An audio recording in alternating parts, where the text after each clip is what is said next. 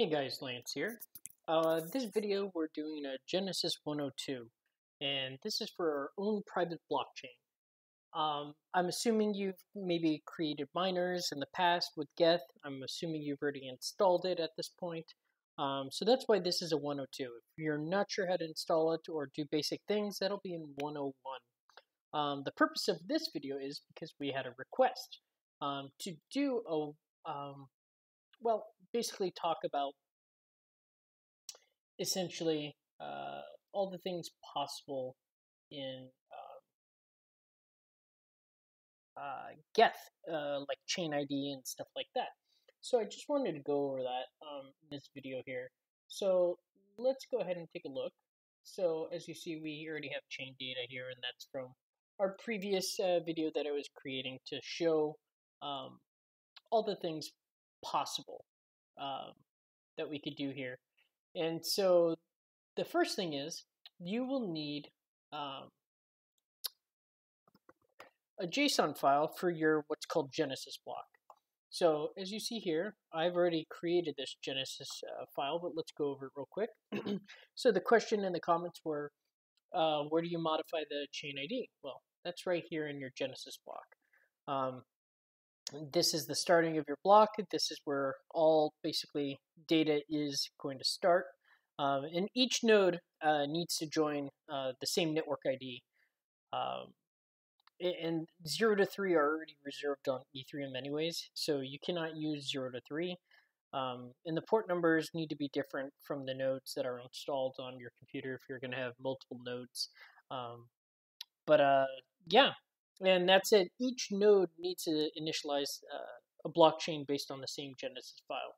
So if you're going to have multiple, you're going to need to have multiple. Um, that said, I've already created um, a data directory folder for this, uh, for our miner 1, miner 2. Um, that said, and we've already created the Genesis file, which is in the main directory here called geth uh, 102. As you see here, that's our file path. And then we have our miner 1, miner 2. Uh, whether you've set that up or not, unsure, but we'll assume you have at this point, at least one. Um, and so the thing is, if we wanted to go ahead and start our first miner, what we would need to do is geth data directory, right? And miner 1, okay? Then init genesis. and as you see, we've successfully wrote our genesis um, here and you can see uh, the maximum peer count. Uh, there was no smart card socket found, uh, and we set a global gas cap, as you can see here. Um, and everything otherwise looks like we've done it successfully. Um, so that's great news, right? So the thing is, uh, now that the blockchain has been successfully created, um, you can see that we have a geth folder which contains the database of our private blockchain which is the chain data. And then we have a key store, um, which is where the wallet uh, used to store the accounts um, for this node will exist. And again, you could see that by um, miner 1. These are the two folders that I'm speaking about. So now that we have the first miner done, we can go ahead and do the same for our second one, right? And remember, we need to use the same Genesis uh, file. So we'll go ahead and do that here, miner 2, and that was successful as well. So we've now successfully created this on both. See, Geth and Keystore. now what we need to do is create accounts. So the account for the first miner, what we're going to go ahead and do is Geth uh, data directory, which is datadir, um, miner 1, right? Account and new. And here, your new account is locked with a password. Please give a password. And don't forget that password. You're going to need it. So I'm just going to go ahead and uh, type a real small one. Okay. And as you see, excuse me, here is our key uh, that was generated. Um, and uh, the path of our key file, which is right there. And keep note of that uh, file path right? So as we see, that was successful, and now we've created our first account on our first miner. Now, we can add multiple accounts to here, right? uh, but I feel like that's good enough. Um, but if you wanted to, again, you could go ahead and run this again and create another one should you want to. And now we have a second one, right? The addresses are different. Um, now, the wallet for these accounts, where is it located? Well, that would be the key store, right? So if we do um, LL uh, miner one and then uh, key store, there is our location, right? This is the wallet for these accounts, and that's where it's located. Now, if you wanted to see all the accounts on your node, your private blockchain here, um, all you simply need to do, to save some time, let's go ahead and do that. Um, and then do account list. And then here you go. Here are all the accounts on our node uh, right here. Account 0 and then uh, 1. And you can see where the key is, the addresses themselves. Um, so you have that. Now, we uh, probably want to set this up for our other miner, right? Miner 2. So let's go ahead and type that. Type in a password again. And we now have our public address and the key file for that. So now if we again wanted to create another, we could, but just to make sure that we have at least that one account on our miner 2, there it is, account 0. So that exists there, um, and we've gone ahead and created our miner accounts essentially, right? So again, you could create multiple should you want to, you don't need to, um, but that's up to you. So now we need to go through the miner setup, right? So one thing that was asked in the questions about RPC and setting that up properly. Now, something to note, uh, if you remember, using RPC is now being uh, depreciated, uh, and um, that's going to change um, into using HTTP. So anything where you saw RPC, that's now going to be um, different, right? So in fact, let's go through it, and it would even tell you. So better to show you than to tell you, right? So let's go ahead and set up um, identity, right? And we're going to go ahead and do miner 1, for instance, right? That does not look good, does it? Uh, miner 1. and then let's set this network ID. Uh, you can set it to whatever you want, whatever you have, rather. Um, where it makes sense for you. So I'll put in 43, for instance. Um, then let's go ahead and list our data directory, right, for our miner. And that is going to be miner 1, right? So we'll set that up as so, quotes here, miner 1, right? And we'll go ahead and run no discover. Now, you might be asking why uh, no discover, right? Um, that is simply because uh, we're going to disable discovery of the mechanism because um, we're going to pair uh, our nodes later on. Um, and again, the network ID, as I mentioned, um, it's a, a, value that we'll use to pair all of our nodes on the same network. Um, and again, you cannot use 0 to 3 that's already used by the live chains like the mainnet that exists. Um, and as we already went over, the data directory, that's where our private blockchain um, stores the data, right? So, and then the identity, obviously, I mean, that's miner one, right? um, so the next thing we need to do, right, is about mine, right? We want to set up mining, right? So we just put in tech tac mine. Um, and then, as I told you, RPC has changed, right? So the RPC and RPC port is changing, and so um, you need to keep aware of that. But let's just go through it. It should flag us and tell us. But if we do RPC port as so, and let's put in 80, uh, 42 maybe, um, like so, right? And then we also need to run port uh, 30303, right? Now you might see that often and go, uh, why, Lance? Well, um, this is the listening port number, right, on which the nodes will connect to each other um, and uh, do the new transactions and blocks.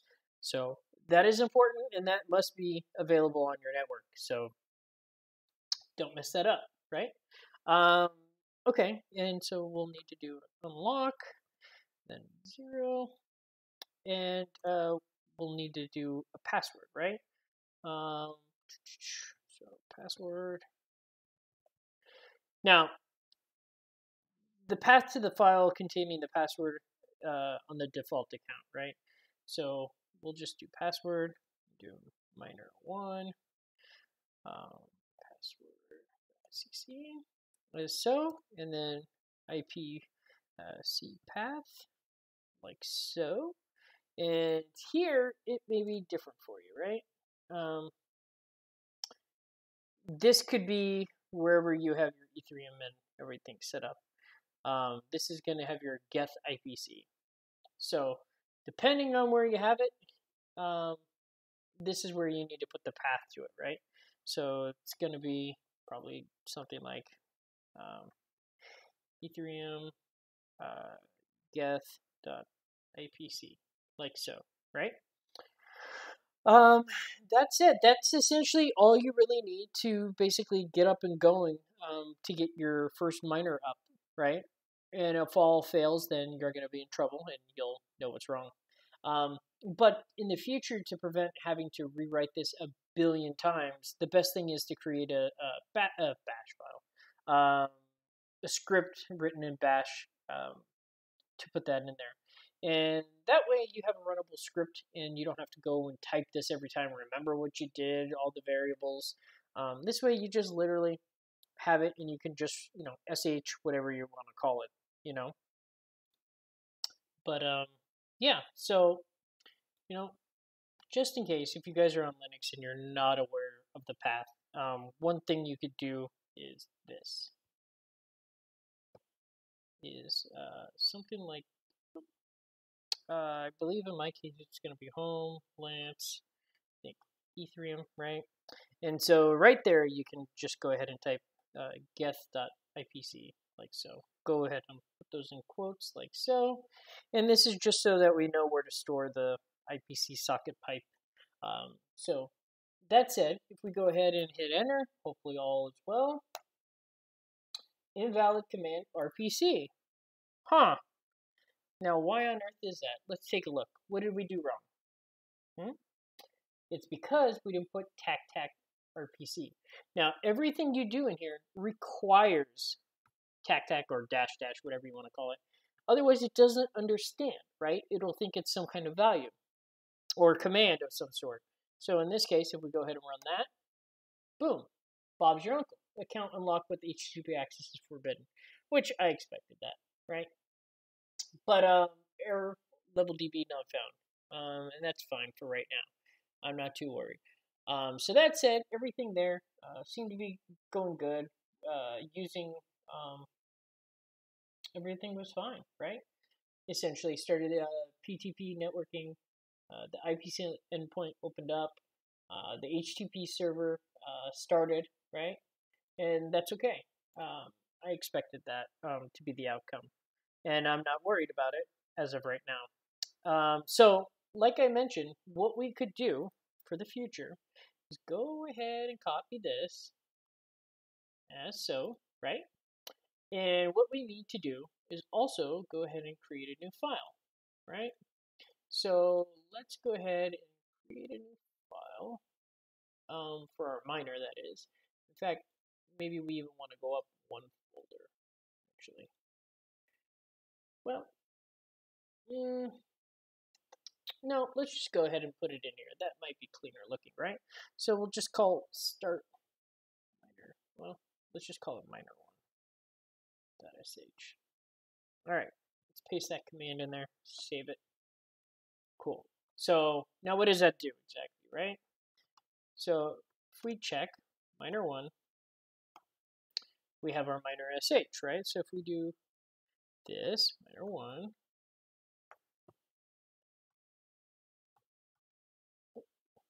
my bad.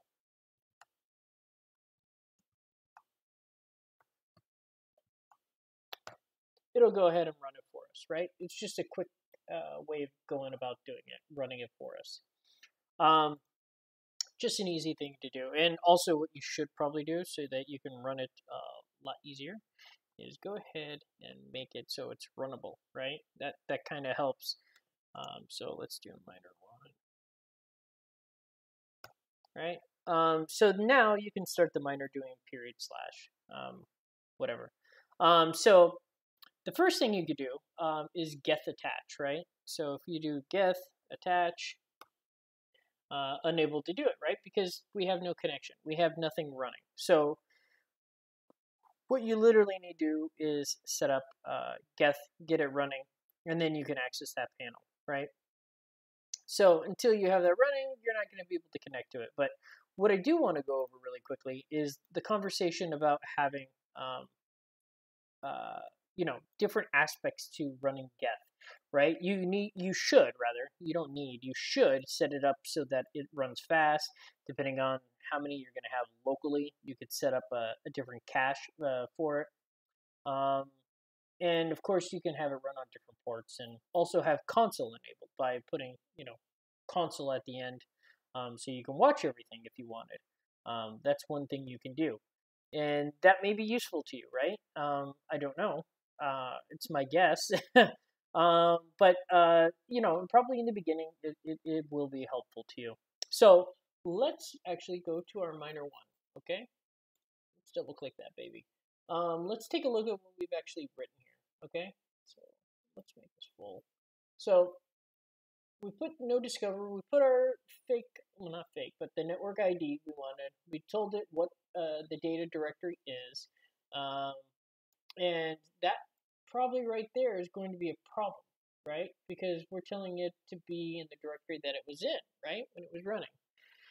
And so that probably um, doesn't help, right? So, well, actually, no, we have it in the, oh yeah, we have it in the miner one folder, right? So let's go ahead and do this. Um, let's go ahead and move it from miner one, right, miner, to this folder and it should be there. So now, if we do this, what's going to happen? Still forbidden, but the data directory is there, right? And it knows where to go. So that's cool. I'm happy with that. You should be too. Um, and so now we see, you know, our miner one. And again, here's the chain data, light chain data, because previously um, I had a light one going. Um, and here's everything you might want to know about the nodes. Uh, the key store, which you know we've spoken to about in the past. It's in a JSON format, which is great. If you have time to look at it, great. If not, who really cares, right? But let's go ahead and um, open up our miner. Oh boy, this new keyboard is really killing me. Um, let's see here. So here we have the RPC RPC port, and as I was saying before, um, if we want to enable like a WebSocket or something like that, um, or set up the HTTP server, you need to define that, right? So that's one thing you need to do. And we've already put in uh, mining, right? We wanted to mine. Um, but as I was saying, you know, if you want to disable the IPC RPC server, you can. You know, you just do IPC disable. Um, and if you want your sync mode for the blockchain to go fast, that's something that you might want to think about too, right? So if we go ahead and put in like dash dash uh, sync mode and put in uh, light, then um, the blockchain synchronization is going to go a lot faster, right? Now, if you want to enable metrics and reporting, which maybe you do in the beginning, uh, I know I do, just go ahead and hit metrics in there as well. Now that that's useful, um, and you can see everything that's going on. And like I was saying, if we put console at the end of this, it will run basically like an application and we could see what's going on um, and how things are changing. And depending on how much memory is available on the machine, you can increase um, the cache amount uh, to make it go, you know, uh, faster, essentially, to speed up the synchronization. And you could do something like cache. Uh, you could do 128 or whatever, but uh, you know, let's do 2040 eight, or you know, oops, wrong button. Uh, 0, 24, that ought to be fine. Uh, I mean, on my mission, I can definitely increase it how much I want. Um, um, let's think. What else do? We, oh, right. We were talking about WebSockets briefly too, right? To enable a WebSocket, you just put in TAC-TAC-WS, right? Now you do need to put in, you know, the ports and everything, and you also need to think about the RPC um, plugs essentially that you want to do, or APIs, if you will. So here we've only put the RPC port, right? Uh, another thing you're going to want to do is RPC API, right? And the R- RPC API is where you're now going to put in something like ETH, um, Web3, uh, debug, net, uh, DB, admin. I think that's good enough, um, really. I don't know if you need to do SSH or debug or anything like that right now, per se, but I do definitely think it's good enough uh, for now. And as we were talking about a uh, WebSocket, right, you essentially want to do the same thing, right? What you want it to have available. So, um, so WS, right, for WebSocket, and then WS API, just like we did before. We're going to go ahead and put in ETH, uh, Web3, um, debug, net, database, admin, right? Because that's what I essentially want to have uh, accessible. Um, and, and another thing you should keep in mind is the origin, right? And origin is important um, for what's going to, you know, because um, in CORS, right? If it's going to be something that's not local, CORS is going to be important for you as well. Um, so just in this case, let's just do um, origin since it's local. Just put localhost, right? Simple, easy. We could go through it in another video what we really want to do, but um, we set up our RPC port 8042. You could set it to 8547, whatever you want, right? Um, now, if we go ahead and run this baby one more time, let's see what problems we're going to get. Ah, this is what we were looking for. So, as we see, WS API, what's wrong here? It says flag provided but not defined, right? Now, what does that mean exactly? I mean, if we go through here, let's see, right? Do we see Oh, you see that? Hmm? You need to now put ws.api, right? ws.origins. And it has changed, right? It, it's not like what you probably saw before. So now let's go run it, okay? And there's a reason we're going through this. Forbidden. But what happened here? Unavailable modules in HTTP API list. So stuff here was not able to run for instance, database. Okay, so if we wanted to, you know, go ahead and get rid of database, we could do that, right, in both spots. Now, will that get us closer to running? Let's take a look. We're getting closer, right? We are getting closer, and we see the WebSocket was enabled, right? And we see uh, the HTTP server started. So that is great news, right? And everything else looks like it was running properly. It was using our uh, private blockchain, uh, we were able to set the gas cap. And this is what we were talking about before. RPC is depreciated, right? It will be removed in June. That's this month. So now we need to use HTTP, right? So that means where we have RPC, we need to change that to HTTP, right? So that means if I change this to just HTTP, is that going to work? Or do I need to put HTTP port? Well, let's go run it and find out, right? Ah, it doesn't know what it is. So probably we need to do that, right? More than likely. So let's go ahead and do that again for that. Save that, and let's see what happens. What do you know? Less problems? Did that fix our original issue? And it looks like it did, right? So here it says there's no such file or directory, and that's true. Um, but everything else um, is looking really good, right? Uh, as we see here, everything loaded as we expected. Um, we had a warning here, uh, unclean shutdown. Of course it did. It didn't even run properly, right? Um, it showed a new local node record. Um, it also showed that uh, P2P networking uh, started. Uh, the IPC endpoint was opened, right? Because geth.ipc didn't exist before. We defined that, if you remember, uh, right here, right? Geth.ipc didn't exist. We had to literally put that in there, right? And so then it created the file and it will store it there, right? And the HTTP server started, as you see here, and the light client mode is an experimental feature. Doesn't really matter, right? I mean, we could change that from a bunch of other settings, right? Uh, so it doesn't really matter. So now this says uh, account unlock with HTTP access is forbidden, right? So as I said, you know, with this, this is something we can easily fix here, right? Um, and it's because we need to allow insecure. So right back here, this is usually a good spot to put it put allow. Allow would be help if uh, we spelled it right. Um, insecure, right? Unlock, like so. Go ahead and save that. Clear this out. Now, if we go ahead and run this again, what's going to happen? Oh, failed to read the password file. Open miner uh, 1 password sec. No such file or directory.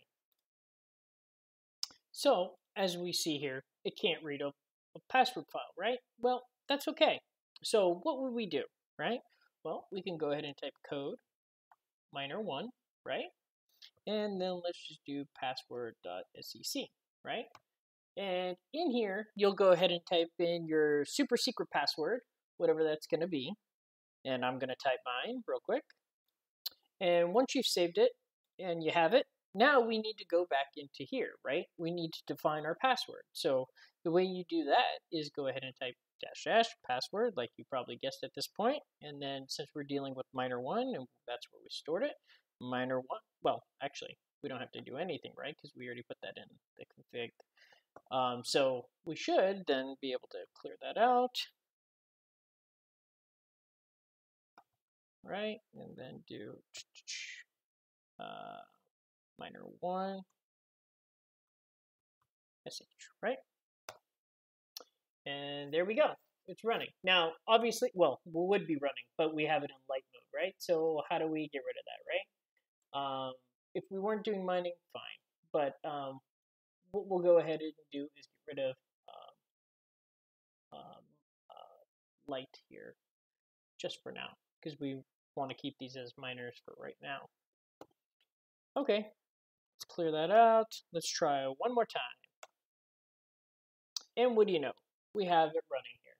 So the good news is we've now figured out how to go create a miner, how to uh, create a password file for it, um, and how to troubleshoot geth, which can be a pain in the butt. Um, especially since they've now updated the commands um, that or variables as well that are needed in order to get this going. So as of right now, this appears to be working as intended, right?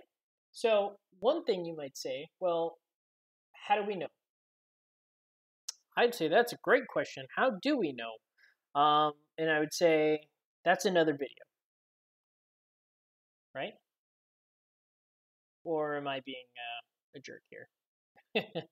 um, so, what we can go ahead and do uh, real quick um, is several things, right? We can uh, try with go into the JavaScript console, right? um, and start mining if we wanted to. So if for some reason uh, we could do something like geth attach, right? Now we're in the JavaScript console. Yay, right? So we see that it's running, it's working as desired. Uh, we see the modules, we see where the data directory is in that miner one. Um, and if we wanted to start mining, which we probably do, we do miner start, right? And it says null right? Now, we could do miner stop. That's another thing, right? Null. And eh, right now, we're not too worried about it. We expected this, right? Um, and we could go ahead and kill our miner and see what's up and rerun it and have multiple. But in this case, there's nothing there, right? We didn't attach it as desired. We need to attach uh, via IPC or um, the URL, right? So one thing we could do since this is incorrect, right? So we could do geth attach and then HTTP 127.0.0.1 and what port did we use? 8042, right? 8042, what happens? Ah, so, and also, what happens if we do question mark? Nothing. What happens if we do this? Question mark. Nothing. And there's a reason. Because this doesn't have the variables like you think. What if we type help? Nothing. So, interesting, right? Um, you might say, well, what the hell? That sucks. Well, I'd say you're not wrong. Um, I wish they had something in there, but they don't. Now, another thing I want you to be aware of is starting and stopping the mining process, right? Now, if we went right now and typed in miner, what's going to happen? So if we do miner dot start, ah, miner is not defined. Well, you can see that miner module is not specified in the list of modules that we were using, right? And this is why we have an error. So what does that mean? Uh, it means we need to then go back to our other terminal. Let's kill this, right? And we need to go ahead and add that as a module, right? Go ahead and put in mine, right? Like so. Because um, ultimately, without it, uh, it's not going to work right. So let's go ahead and put miner and miner, right? So let's go ahead and save that. Clear that out. Let's go try this again. What happens? Oh, looks like all is well, right? Our WebSocket's going. Okay, everything's looking decent. So now let's go back here. Let's clear this out. Let's try and run this one more time. What happens when we attach to this? So now what happens if we do miner dot stop? Oh, no. Okay. And what if we do miner dot start? Oh, well, isn't that interesting? It's still not going. Well, I guess the true question is, why not? Do we see it? Well, it shows miner 1.0, right? Modules there. And we put it in the API for HTTP, right? It's there. We put it in uh, for the WebSocket miner. That's there. And so there's no other real place that we would have put it, right? Uh, so all should be well, right? I mean, essentially, it should be running. Well, let's try something, shall we? Let's go back to this. Okay, let's go ahead and kill this. What's wrong here? Well, let's try something here. What if we change this, right? What if we change this to mm, 30303. Will this matter? Does it even matter? Let's see what things are running at. E42 is the web server, right? Uh, E546 is the WebSocket. So what happens if we go ahead and do that here? Does this make a difference? Can we do anything? Oh, Looks like we can't, right. Why is that? Because it's incorrect, you say? Ah, see? It tells us it's incorrect. Right? So, hmm, what would we put there then? Right? Well, let's go back in our list here, see if we see anything interesting. Uh, 8042. Didn't we try that?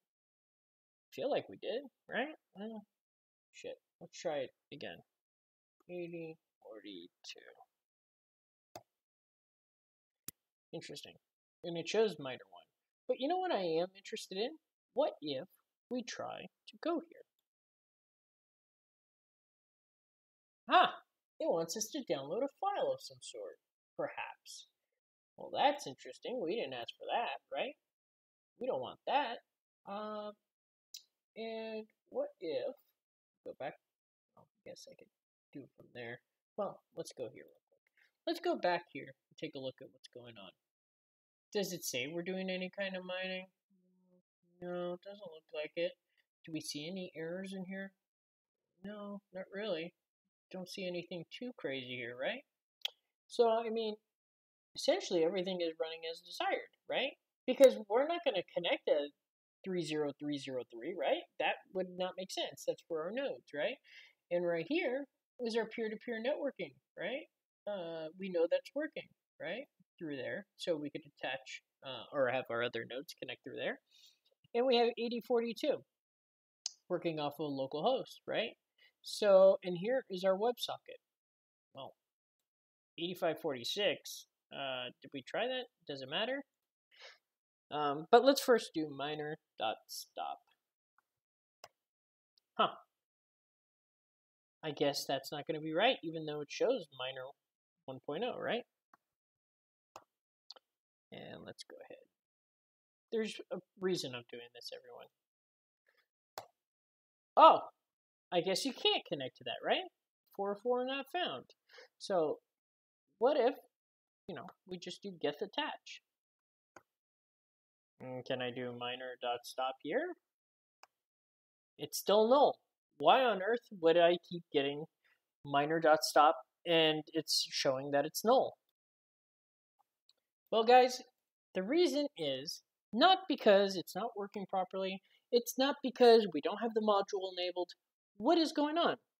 Right?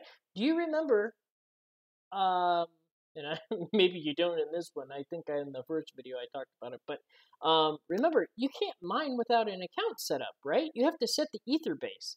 Um, so that's a problem. So what you could do is do geth attach, right? And you can do miner dot set ether base, right?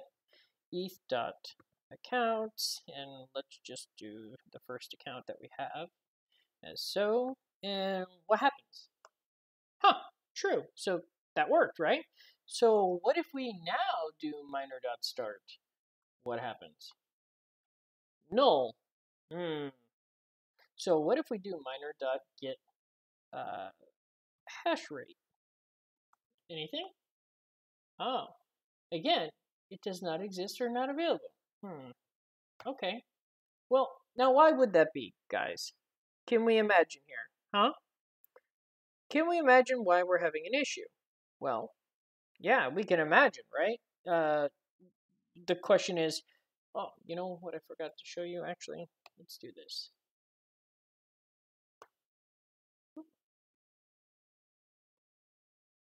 What if we do eth.coinbase? Ah, that works, right? Um, hmm, what if we do miner.get uh, hash rate. Still nothing? Um, does not exist or it's not available. And we know why, right? Because there is no hash rate. Um, of course it's going to be null, right? So again, if we do miner, right, dot set, well, actually, let's go ahead and do start. Null. Now, do we need to do miner dot uh, set ether base? Right? Do we need to do this again? Dot accounts and for the first account. Is this going to do anything? True. Huh. So it's set, right? So it still says null. Well, what's going on over here? Anything new? Oh, interesting. It appears that it's mining. Huh. Figure that out. Wouldn't you know it? So, what if we stop this? Anything gonna happen? Is it gonna continue? Yeah, it is. We've already told it to mine up here, right? So when it can, it will. Um, we don't need to control it there, right? Um, not that that should matter. You should still be able to set it. As we know, our Coinbase has been set. Um, we've been able to um, successfully uh, create new blocks. We've seen that. Um, and we know it's working because we can see the mining happening, right? Um, you know, again, you can do ETH hash rate if you really wanted to to see what's going on. Uh, let's go back here. So if we do ETH dot hash rate, ah, I guess it's working. So let's think about this one, right? If we did miner.start 1, what would happen? Still null. Hmm. What if we just did miner start? It's a function. So we know the capability is there, right? Um, and that's really all we care about right now. Um, now, what you could do is create a fresh data directory. Um, and the question is, did we actually shut it off? I don't recall uh, the server um, before. Um, but that says the hash rate is working, right? We can see, look at the hash rate. We know it's mining. It is working. So I guess one question would be, um, is if we kill it, let's go ahead and exit out, right? Let's go back here. Let's kill it. If we get rid of mine in here, we save it, does it matter? Maybe, maybe not. I don't know. Let's find out. Okay, so we know our account has been unlocked. It's not automatically mining, right? I mean, it doesn't look like it. Uh, here's our port and everything, right? Let's try to connect again. See what happens. So, one thing we want to check real quick um, is uh, our ETH hash rate. Zero, which means what? It's not mining, right? So if we do eth.coinbase, well, we have our address there. We do miner um, dot start.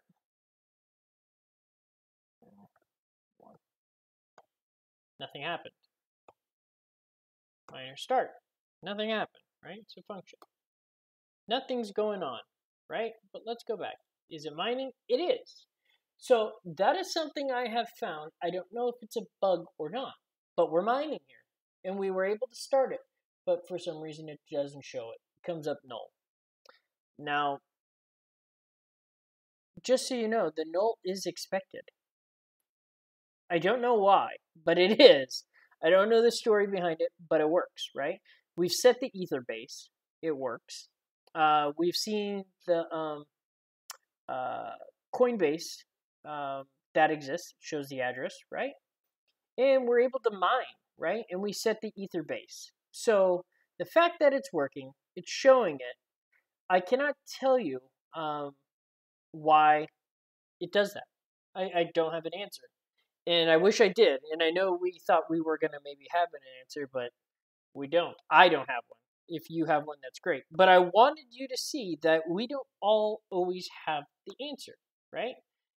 Like this. It says it's not working. Well, there's a reason. Um, and that will go into another thing why this isn't working like that, right? Um, but again, to know that it's actually working, guys, all you have to do is ETH hash rate. And as long as this is not null or zero, you know it's going. And again, you could go over here and take a look. I mean, look, it's doing its thing, right? We know it's working. You can connect to it. You can attach nodes to it. Um, and again, I don't know why it says that. It comes up with the error. Someone smarter than me is going to know that answer. Um, and the other thing you can do, um, just to see what's going on, you could do eth.accounts. And we see we have two accounts here, right? Um, we know it's working. So I guess one thing you could ask yourself is um, setting up, you know, balances, right? So if we did something like um, uh, ETH.accounts, right? So if we do, let's see, uh, user one, for instance, right? Um, do ETH.accounts. Now, this is just for fun here, guys we set up that variable, right? So now if we type in user one, boom. So if that was our backup wallet or something like that, or different miner accounts, we could see that and easily access that. So, you know, if we wanted to get the balance, for instance, you know, we could do something like uh, eth.get uh, balance um, user one, right? And there you go. There's the balance of that. So th there's cool things you can do in here, right? Um, and again, I don't know why necessarily it shows that it comes up null. Um, I've seen it before, and I'm, I, I know there's a solution probably for it, and I'm just not thinking about it. And another thing, also, if you really have doubts if it's actually mining, the other thing you do is eth dot um, uh, block number Um, you can see what block number it's at, right? And again, if we did miner dot stop, still comes up null, right? We go over here, stopped. It's completely stopped.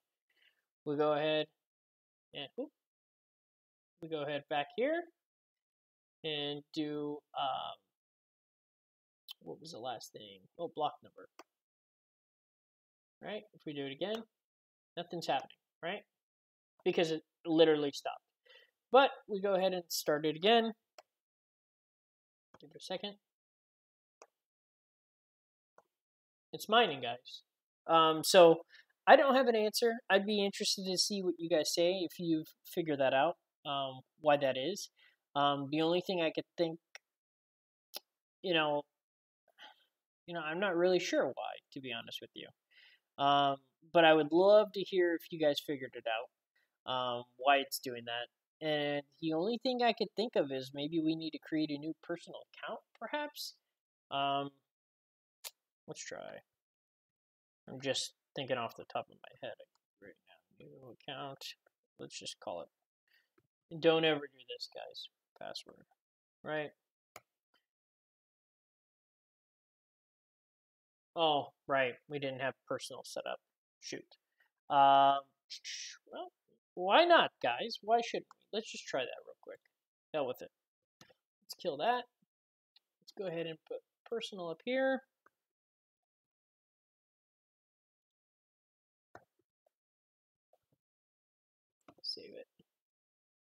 Try it again. Again, not mining, right? Whoa. We're connected, right? So what did I mention? Uh, what's it, dot accounts? Right, we have the two. So let's try this. Personal dot new account, and let's just do password. All right, cool. It generated one, right? So let's see something. E dot block number four two two. All right, now let's do miner dot start. Curious. Still no? Huh. Alright, well, that's clearly not what was going on. But as I said, um, we see it, right? We see that it's working. That's all we really care about at the end of the day. Um, sorry I took you guys through troubleshooting here, but that said, um, you've learned, right? We see how to get the hash rate. Oh, why? And we're going to tell you more in the next video. So we've got through this, guys, right? We're about 48 minutes into this uh, long video. But I wanted you guys to see that not everybody has the answers all the time. We're all learning. Um, and this is one way to troubleshoot it on your own, right? You've got to figure it out. So we've now figured out how to set up our miner. Same process to set up another miner um, how to interact with our blockchain through the JavaScript console. Um, we can see the block numbers to see the ETH accounts we have, how to do like variables within the um, blockchain when you have this JavaScript uh, console up and running, how to start and stop it, um, and even if you get a null value, how to go and see if you're actually mining. Now, again, if you don't want to do the start and stop business, you just put in dash dash mine. It'll do it on its own. You don't need to worry about it, right? Go ahead and save it. And of course, we learned how to create a um, bash script to automatically load it, um, which is not a problem, right? So we, uh, we don't have to do this every single time. Um, and how to unlock, right? And we've created that password, right? If we remember, where did we put it? What uh, variables we set, which is right there, password, right?